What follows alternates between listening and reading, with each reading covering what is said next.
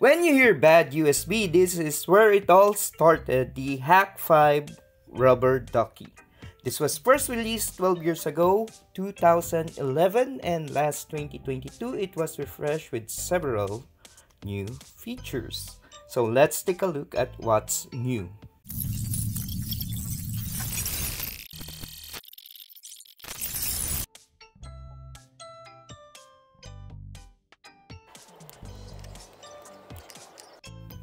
The first update is with this button.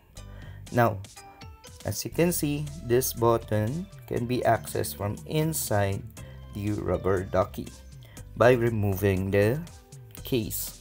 Now, the first thing you need to do is that this case, in order for you to press this button from the outside, is to add the stickers that are supplied with the rubber ducky. Now, this button serves as a switch from a USB drive into ARM mode, meaning when you are trying to put a script in it, you go to you just click it and it will be a USB thumb drive. And when you're about to execute the payload, you just click it again and it will run whatever payload is in here. On the previous version, this button serves as a reset function allowing you to rerun the script. And in order to put the payload on the rubber ducky, you need to remove the SD card and transfer the payload on that SD card. And this is a very very convenient update made for this version.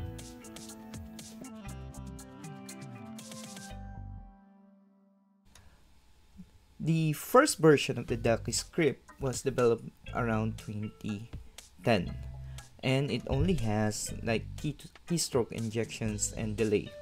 Fast forward to 2022, uh, the third version of the Ducky script has been introduced and now it has control flows like if then else, repetition like while loops, functions, and extension. Like for example on this script, which is an exploit of the Citrix NetScaler ADC. As you can see, it uses an if-else statement to implement different steps based on the OS that it has detected.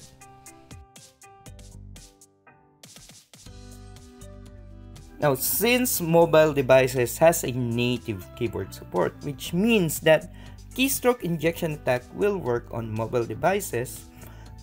Now the rubber ducky has a physical USB Type-C in it. And what we're gonna do, um, let's go to the computer and let's create a script or let's download the script where you can brute force the pin code on the lock screen.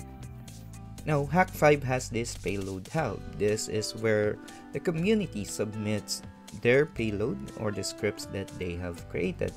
And you can choose the, choose the device USB rubber ducky. And let's choose mobile Android.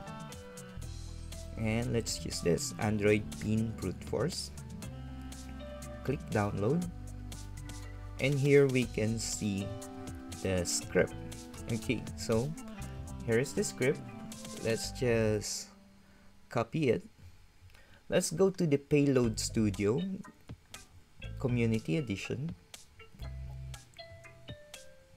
And what we're gonna do is Control A, Control B, paste it, and let's try to generate payload to compile it. As you can see, the payload has completed um, compiled successfully, and that bin file, this one that we're gonna download, is the one that we will transfer to our rubber ducky. Now that the payload is inside the rubber ducky, let's try it out. Let's open this phone and insert the rubber ducky.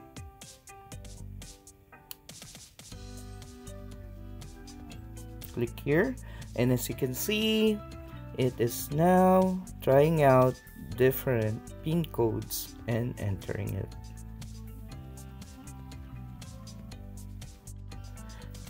This new version of the rubber ducky brings a much needed improvement in order to modernize it and I believe that the main advantage of this is the implementation of the Ducky Script 3 which most of the bad USB out there doesn't support. And with it, you can make more complex script and it is a more full-fledged scripting language. Now, for the price, I was a little disappointed that it cannot handle multiple scripts and has no Wi-Fi interface. For reference, this WHID Wi-Fi Cactus is one-third of the price of the Rubber Ducky. And for those reasons, I think the OMG Plug Basic at the same price point is a better buy. And if you enjoy this video, feel free to check out my other videos here on Hakista TV. Till next time, my fellow Hackista.